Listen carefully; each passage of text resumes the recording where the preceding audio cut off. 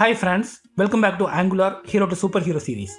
If you are a beginner trying to learn Angular, there is another series, Angular Zero to Hero, in which I have explained all the basic concepts. You can find the link in the description. In this Angular series, Hero to Superhero, I am focusing on advanced concepts. In this video, I am going to show you how we can integrate a payment gateway in Angular. Let's start. To explain this, I have created a simple Angular application in which I have created a card page. Here I have hard-coded two products, but I have made this part dynamic. So if I increase the quantity, based on that and the unit price, the subtotal and the total amount changes. And on clicking this, user can proceed to the payment page. In the payment page, total amount to pay will be displayed and then a message. After that, we need to show a payment button. That is what we are going to implement. And then a cancel button. On clicking this, the user can go back to the cart page. Ideally, I need to maintain this changed quantities in some kind of state and retrieve that on init of this component. But as this is a demo for payment integration, I am not maintaining that. So every time when I come to this page, the quantities will be reinitialized. And when the user transaction is completed successfully, we need to route the user to this confirmation page. Here we need to show the transaction ID. Okay, let's start integrating the payment gateway. And for this demo, we are going to integrate PayPal. To integrate PayPal in Angular, we have third-party libraries like NGX PayPal. But I would suggest you to implement on your own without third-party libraries. It is easy to implement.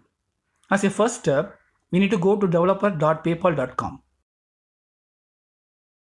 Here we need to click this login to dashboard button and then sign up. We need to register for a business account. Just follow the on-screen information to register. You may be asked to complete the email verification also. After that, you can come back here and log in. Okay, I have already created an account and so let me log in.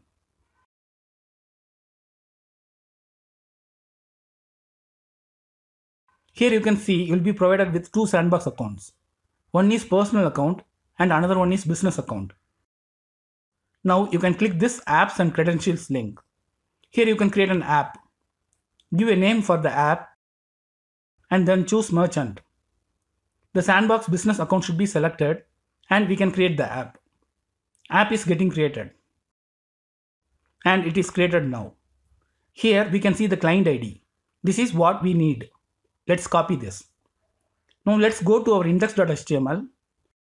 Here let's create a script tag in which the source is going to be https colon double slash www.paypal.com slash sdk slash js question mark currency equal to we can give any currency supported by PayPal.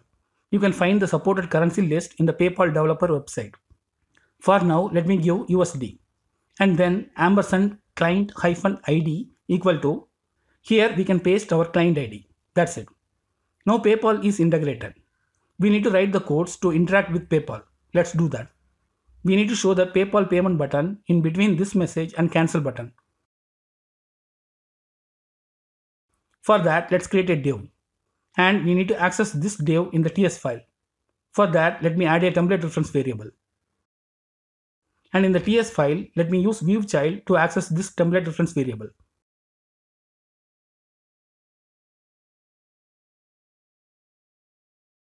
This is going to be an element ref. Now comes the important part.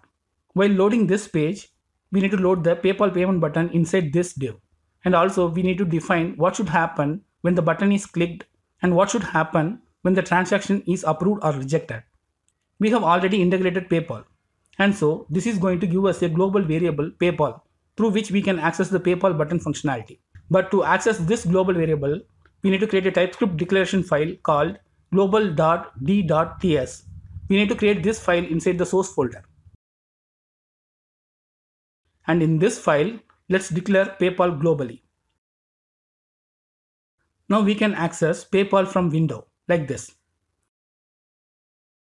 Here we can see there is a buttons constructor. Let's call that and let's use the render method to render this button inside this div element. That means this dot payment ref dot native element like this. Now we can see the PayPal buttons are showing up. Let's pass a style object to change the styles of the buttons. Okay, this is what we want. Now we can click this to go to the PayPal payment page. Here we can click the pay with credit or debit card button to go to this page. Here we can see the amount is not correct. And also we haven't written any code to handle the result of the transaction. Let's do that. First, let's make use of the create order function, which accepts two parameters, data and action. And then it returns actions.order.create. To this function, we need to pass an object which has a purchase units object array. Each purchase unit should have an amount object with a value and currency code properties. For value, let me give this dot amount dot to string because this value is going to be a string. And then currency code is going to be USD. And then let me handle what should we do when the transaction is approved. For that, let me have the onApprove function which also accepts two parameters, data and actions. And then it returns actions.order.capture function which is going to return a promise. Let me resolve that and let me print the response for now.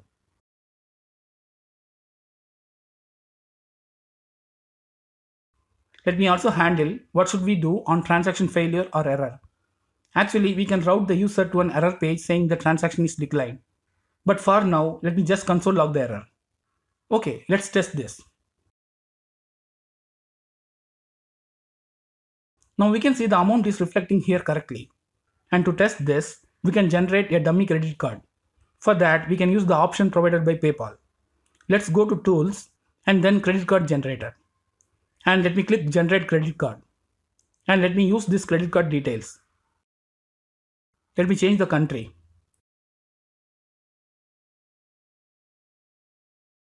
Let me give an email and a dummy mobile number and then the credit card details.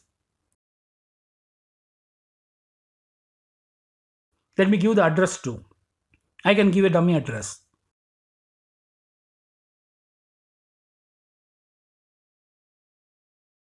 And we don't want to save this information and so let me toggle this and let me click this button. We can see the payment is in progress. Okay, it is done. Now if I open the console, we can see the transaction ID and the status. So instead of printing this, let me check whether the status is completed. If so, let me get the ID and store that in the payment service. For that, let me inject the payment service first and then let me store this. And then let me also navigate the user to the confirmation page. And in the confirmation page, let me inject the payment service. And in on init, let me get the transaction ID and assign it to this variable. Okay, let's test now.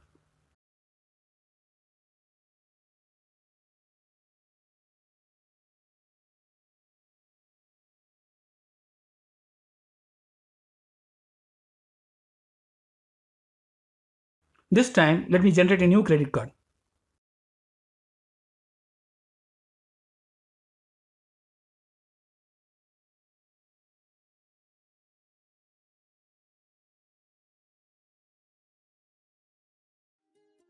Okay, now we can see after successful transaction, we are redirected to this confirmation page. And here we can see the transaction ID. And so our payment integration is working. This is how we can integrate PayPal payment in an Angular application. That's all for today. Please like this video, subscribe to my channel and support me. I'll be back with another concept soon. Thank you. Bye.